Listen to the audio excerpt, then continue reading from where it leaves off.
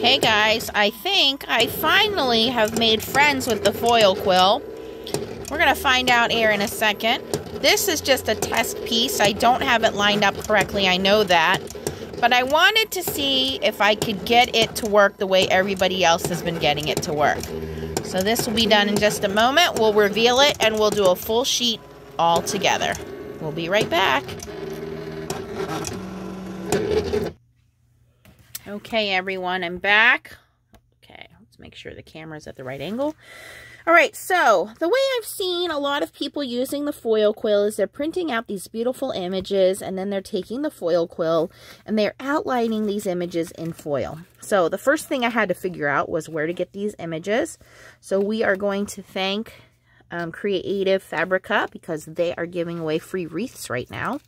The second thing I had to do was to make sure I had my alignment correct. And the third thing was to print it. So I knew my alignment was off. But again, the idea here was to see if the processes I had in place would work. And indeed they did.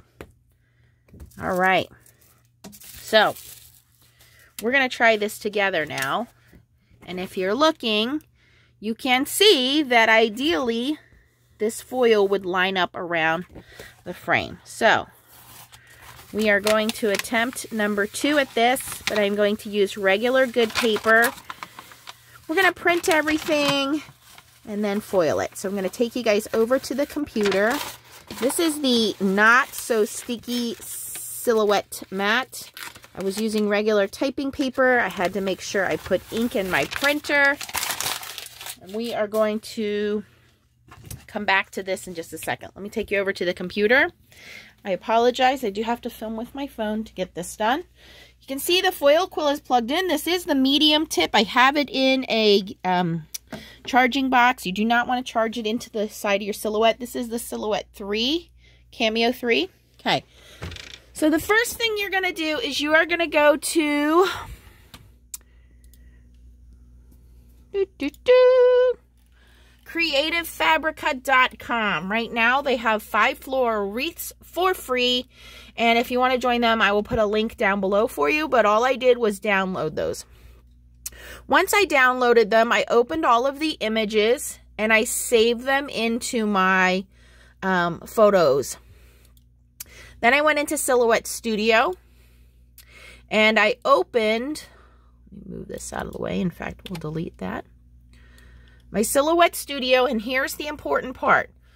You want to make sure when you put your paper down on your mat that over here on the right side that little icon there, registration marks. We want that on because we're going to need those when we print this to, in order to get the foil and the image to line up. I had printed mine on a different piece of paper. That's why mine didn't line up, which I knew was going to happen. Then you're going to pick your floral image and you're going to put that on your paper. I'm actually going to copy this and see if I can do a couple of them. And here's the important thing too. See those crosshatch lines? You do not want to cross over those. Okay, that's no man's zone there. And let me put one more. Actually, I think I'll make this one a little smaller. They're about four inches now, so I'm going to make them a little smaller. Actually, scratch that. Let me take that one. let me delete. Uh-oh. I want these two. I'm going to put these back on here. Okay. Okay. Okay, so now what I want to do is I want to print. Now, when this prints, I want to make sure that what prints are the wreath and the registration marks. I am using a piece of uh, this is actually Stampin' Up! uh, very vanilla regular cardstock. I'm going to put that in my crappy printer here. I just put new ink in there, so we should be good to go. And we're going to hit the print function. Now, when we print, we want to make sure that we're printing in high quality, in color.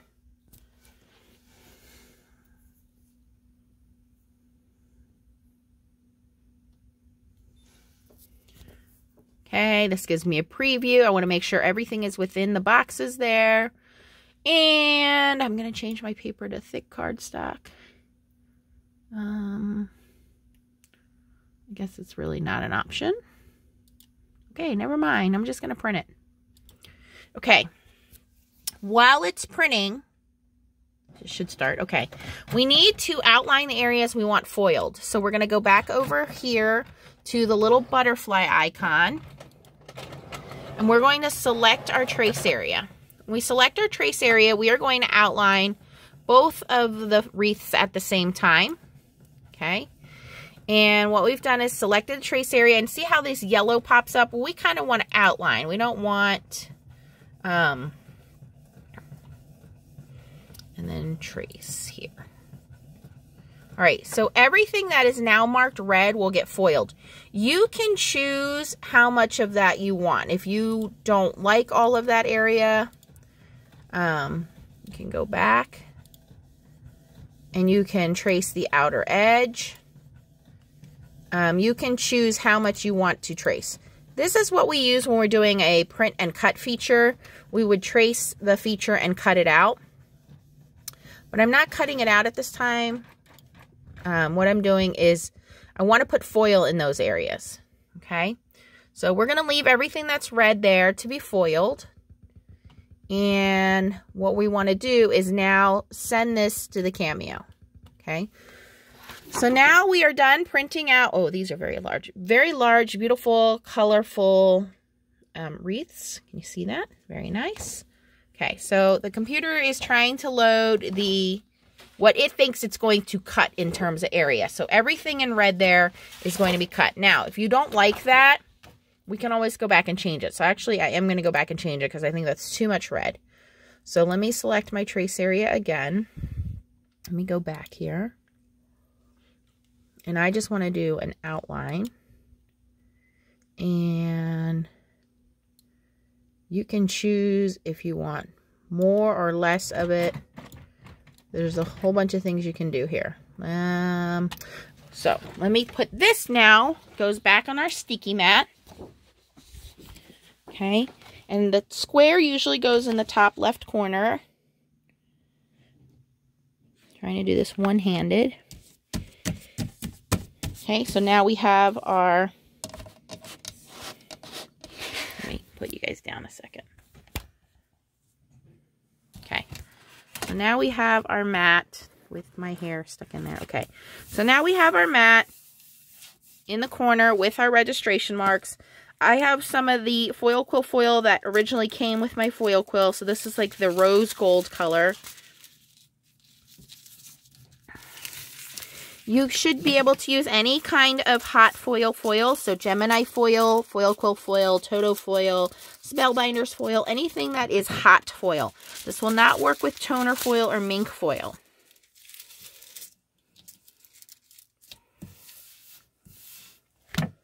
Okay, we're going to use some of our washi tape. Now, um, because my silhouette is the Cameo 2, the magnetic mat does not fit on there, so I cannot use the magnetic mat. So um, I have to tape this down. Now, I will warn you again, you cannot cover the areas with the registration marks. So on that corner and this corner down here, I'm just going to cut the foil off. So those registration marks cannot be obstructed. The machine needs to be able to read those marks.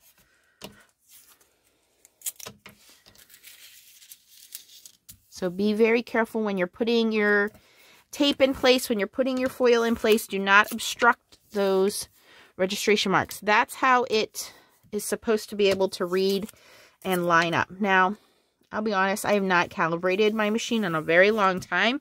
This probably will still come out misaligned, but you guys are going to get the basic idea. There is a feature you can go in there and calibrate your machine. Okay. Whoops. Left you guys on the mount there. Now we're going to load this back in one-handed. Okay, so it's printed. We have our registration marks showing. We have our foil quill heated up. That is the medium tip if I didn't mention that before. All right, so I'm going to zoom in here to see what's in red, to see if I'm okay with that. Okay, great. So what it's going to do is it's going to outline some of my flowers. Perfect. That's what I want. They're going to get some rose gold color to them. Now I'm going to hit send. And what you want to make sure is a couple of things. That all of your settings are on Sketch. So I have it online. Cardstock is fine. Sketch, sketch, force down, speed down. Yesterday when I made the cards, I had the force and the speed too high. It didn't work. So make sure you have everything on sketch. Make sure it's force, force. Make sure what you want to get foiled is in red. Okay. Leave your registration marks up. Now we're going to hit send.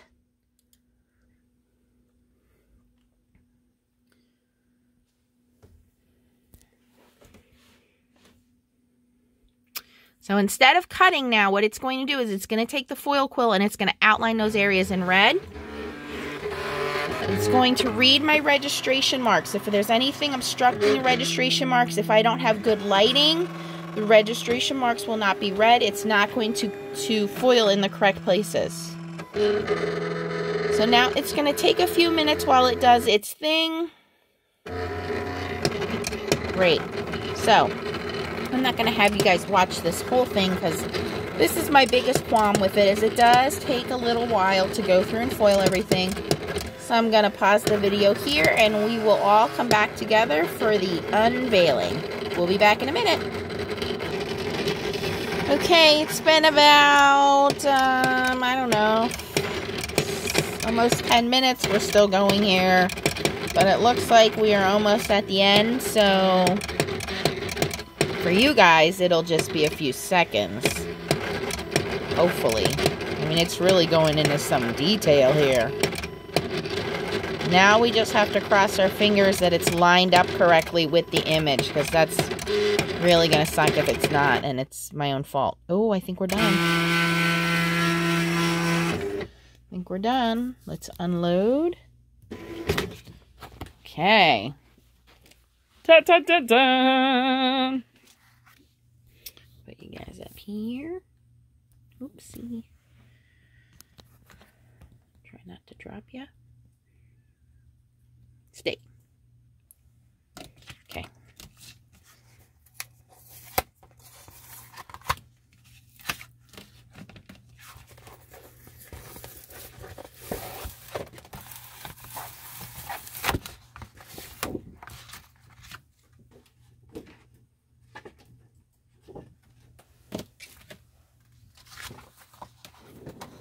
Now, the other thing you can do, you really want to get good at this,